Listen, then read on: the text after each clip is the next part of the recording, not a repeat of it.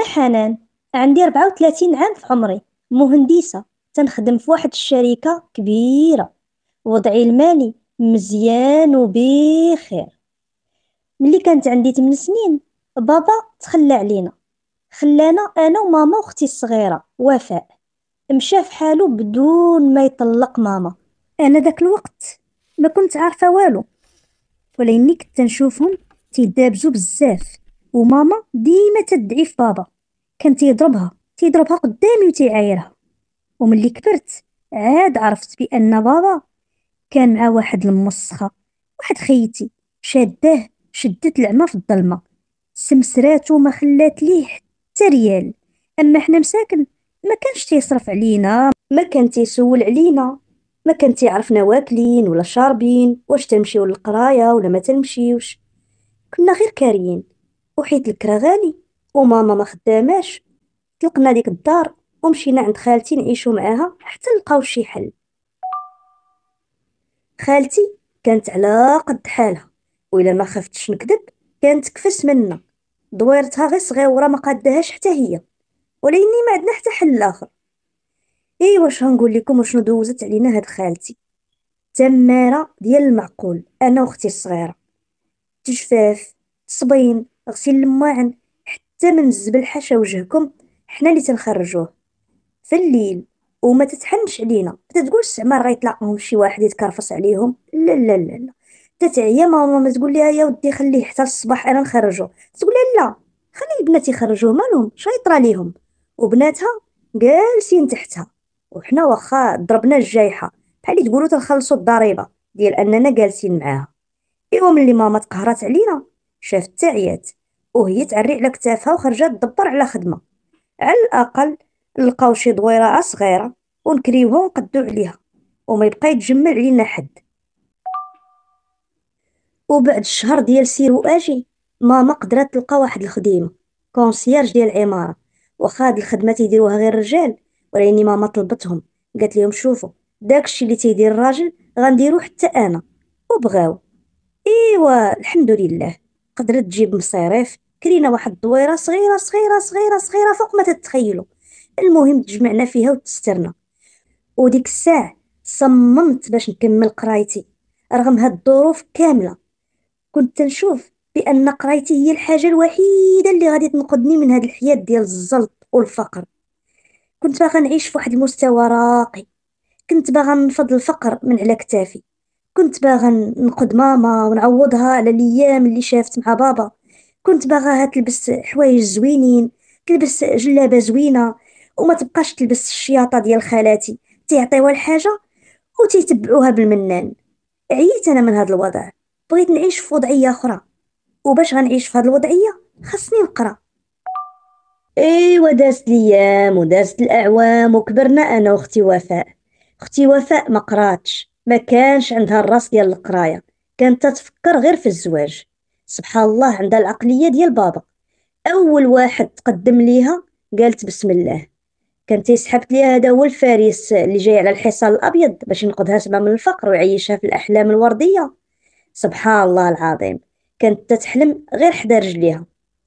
أما أنا كانت عندي قناعات وحدة أخرى. كنت تنقول إلا بغيت نطلع فوق وجه الأرض ونحس براسي راني كاينة. ما غيعاونني حتى واحد لا راجل لا زواج لا حتى حاجة. خاصني ندير هادشي بمجهودي الخاص. إيوا تزوجت أختي وفاء بواحد السيد بياع وشراي. وأنا تخرجت داك العام مهندسة. إيوا كيف ما قلت لكم تخرجت داك العام مهندسة. خدمت في واحد الشركة بصالير زوين. ومباشرة حبست ماما من الخدمة. وشريت واحد الدار غير بالكريدي. ديك الساعة وليت نخلص الطريطة والمصروف ديال الدار والمصروف ديالي. إيوا شنقول لكم؟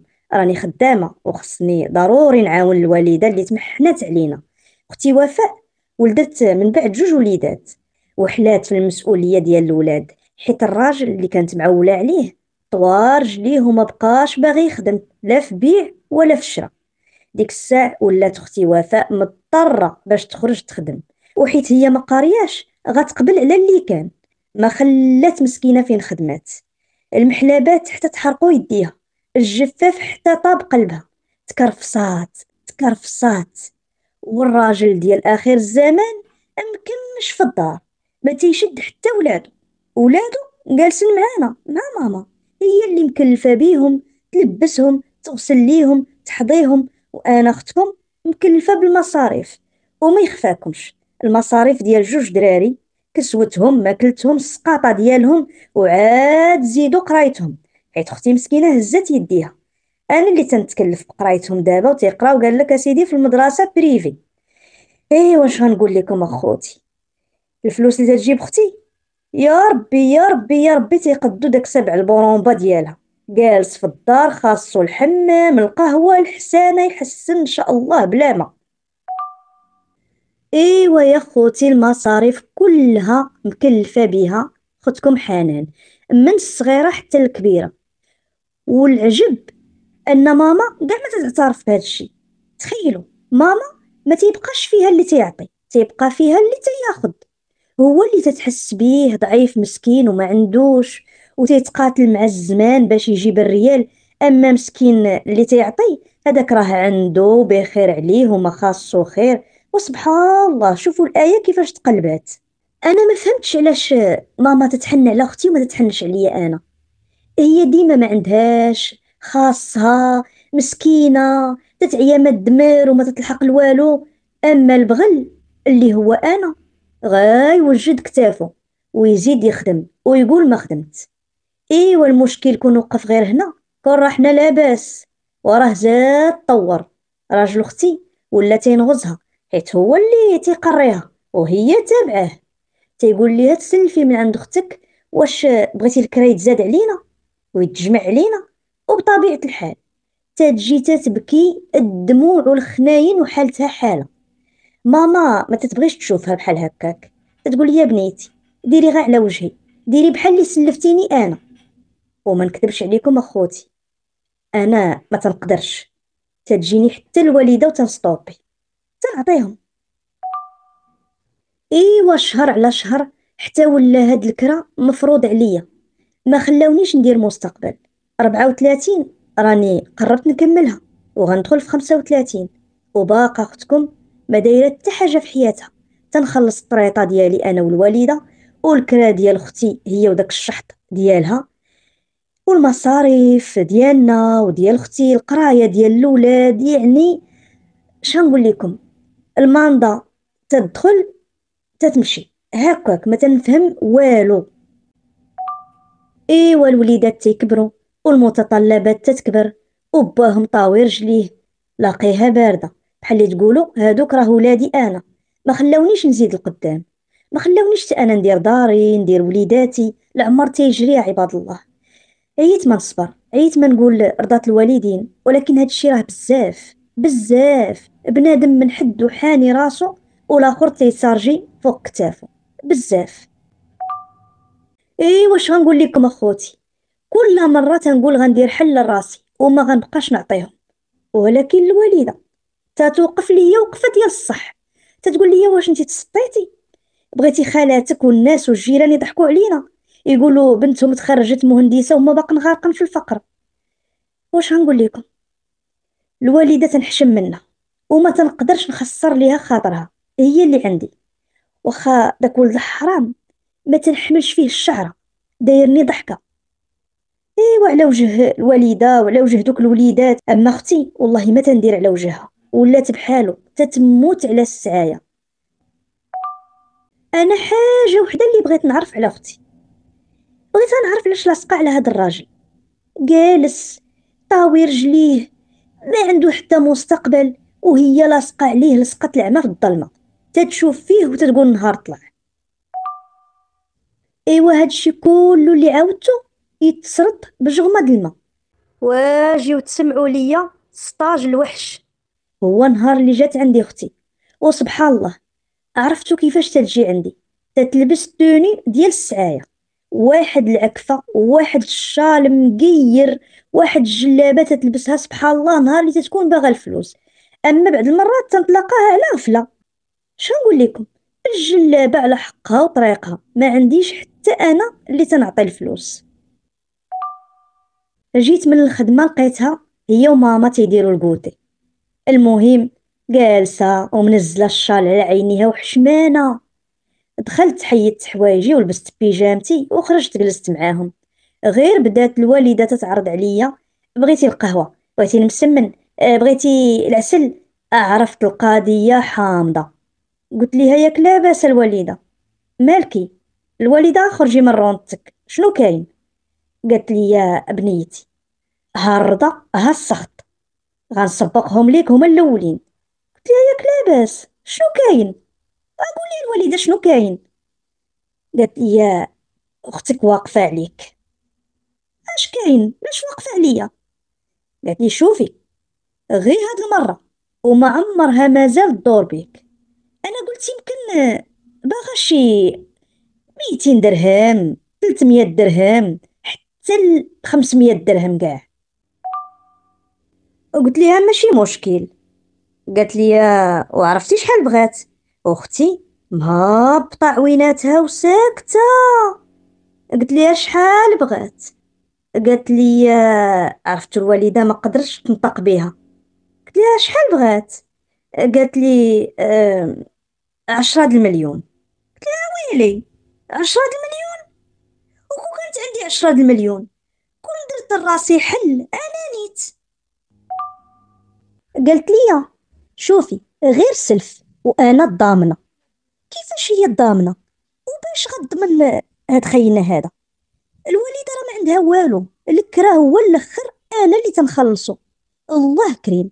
هي فعلا أميمتي وما غيخصها حتى خير معايا. وفوق راسي. ولأني راه ما عندها منين ترد. واخا تقول لك أنا الضامنة ما عندهاش. هي مهمتي وفوق راسي. وتاج راسي. ولاني هادشي ماشي تيعني انها تنتف ليا اللحم وتعطيه لأختي وراجلها.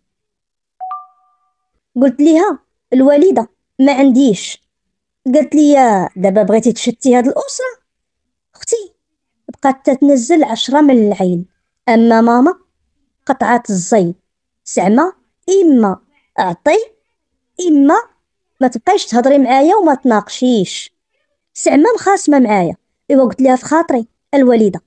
إلا بغيت تقطعي الهضرة معايا غير قطعيها. ولات تتهضر غير مع أختي. حيت أختي بقات معانا 3 أيام حلفت ما تمشي. تدي معاها الفلوس في يديها. إيوا بقيت غير ساكتة. هاد الهضرة خليتها غير في قلبي.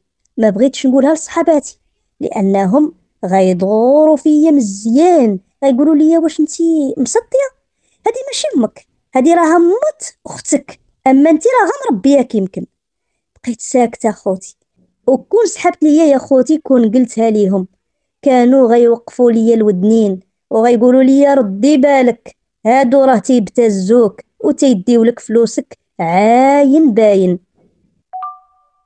ايوا حيت بقيت تنفكر غير راسي. إيوا راسي بدا تيقول ليا آه الصقعه راه الوالده هادي ورضات الوالدين والوالدة إلا كانت ناشطة حتى انت غتكوني ناشطة. صافي يا خوتي ضغط. سلفتهم الفلوس. مشيت سلفتها أنا من البنكة وجبتها ليهم. عرفتوا الوالدة؟ ولات منفخة عليا. وليت نطلبها باش نعطيها الفلوس. إيوا في الأخر شداتهم وعطاتهم العشرة المليون. وتخيلوا حتى المشروع اللي غيديروا والله ما عرفتو شنو هو بالتدقيق. ما فهمت والو. كل مرة الوالدة تقول لي حاجة وحتى أنا ما بغيتش نسقسي ما عندي ما ندير بيهم. يا ربي غير يزيدوا القدام. وفلوسي قالت لي الوالدة عرفيها عندي. هما راه غيبداو يخدموا شوية وكل مرة يعطيوني واحد القدر ديال الفلوس غادي نجيبو ليك. المهم شدوا الفلوس وبدات النعمة تتبان عليهم. أش منك يا الباس واش منك يا تصافير ويا عراضات؟ تخيلوا طردقوا الفلوس فواحد المدة قصيرة ما فايتاش 3 شهور وبقاو على الضس وبقات أختكم حنان تتخلص في الكريدي. إيوا ملي دخل معايا الماضي وبديت تنشوف صحاباتي والبنات اللي خدامات معايا. كلهم داروا المستقبل وداروا ديورهم وداروا وليداتهم وأنا راجعة غير اللور اللور. خدامة على ولاد الناس وعلى راجل كتافو يعشي ودوار. حبست كل شيء وقلت لماما شوفي أنا من الآن فصاعدا ما غنخلص حتى ريال. على أختي وراجلها وولادها. صافي اعتبريني بالنسبة ليهم مت. عييت اخوتي. واش أنا نبقى نوقف الناس ونخلي راسي؟ العمر تيدوز. ندخل في الربعين غمضي عينك الخمسين. وأنايا معمرة عينيا بوليدات الناس. بولاد هذاك خينا. اللي ما يسوى ما يصلح. ما تيقولهاش فيا حتى زوينة. ومن ديك الساعة خوتي والله تا قلبي تيضرني. ملي غنقول لكم أن الوالدة ديالي تتعتبرني مسخوطة. واخا ندير معاها اللي درت. مهليه فيها ما خليت حتى حاجة اللي تشتاق ليها ولا تبغيها. ديتها العمرة. بزز. ما بغاتش. كون صابت فلوس العمرة نعطيها الراجل أختي ولختي. وهكذاك ديتها. ووصيت عليها الناس ودوزت عمرها من داكشي الرفيع. وملي جات ما مرتاحاش وما راضياش عليا. واش أنا بصح مسخوطة؟ إلا كان السخط بحال هكا واش نفتخر؟ أولا شنو غندير؟ راني الوالدة ديالي دايرة معاها فوق الجهد ويا ربي تسمح لي اللي تنهضر عليها دابا. بغيت غير نعرف الآراء ديالكم. شنو غندير؟ وكيفاش غنتصرف؟ واش نبقى نعطي لأختي باش نكسب الرضا؟ أو نجمع يديا ونشوف مستقبل ديالي؟ عييت أخوتي وحرت ما عرفت شنو غندير.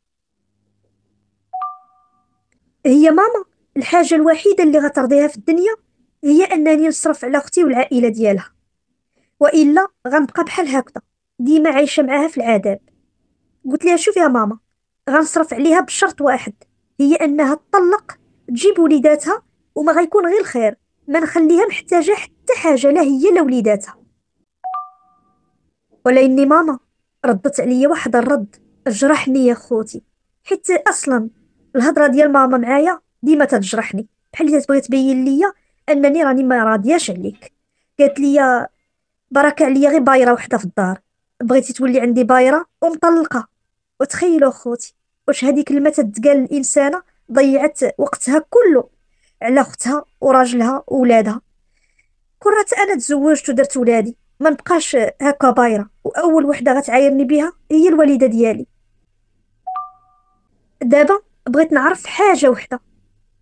واش أنا مسخوطة أو لا لا.